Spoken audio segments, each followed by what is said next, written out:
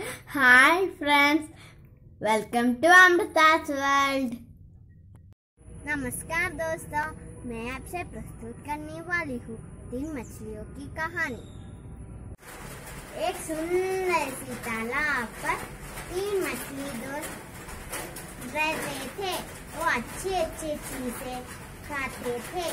एक दिन दो मछुआरे ने आया और कहा इस पानी कितनी अच्छी है तो इसकी सारी मछली ऊपर आ जाए तो कितनी मछलियाँ होंगी।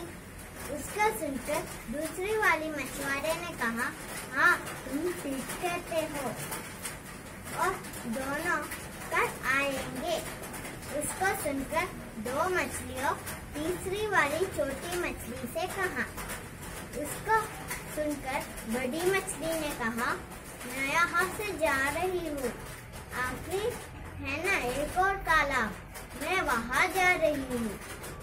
इसका सुनकर छोटी मछली ने कहा, मैं यहाँ से नहीं जाने वाली।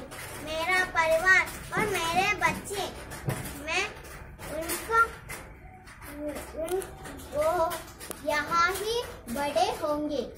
इसीलिए मैं यहाँ से नहीं जाने वाली। और दूसरी वाली बड़ी से पूछा उसने कहा, मैं यहाँ रहना चाहती हूँ, और क्या? उसको सुनकर ये बड़ी मछली जाई। और ये अभी दो मछली दोस्ती है। मछुआरों दोनों बड़े जाल लेकर आई और मछली को पकड़ लिया। दोनों दोस्त को भी पकड़ लिया, पर एक हिला ही नहीं। और कुछ बात भी नहीं करी। तो मछुआरे ने सोचा ये मछली मर गया है। इसी मछली को मैं पानी में ही डाल दूँ। कहकर इस मछली को पानी में ही डाल दिया। इसीलिए वो मछली बच गई। पर दूसरी वाली मछली को पानी नहीं मिली थी। इसीलिए वो मर गया। धन्यवाद। धन्यवाद।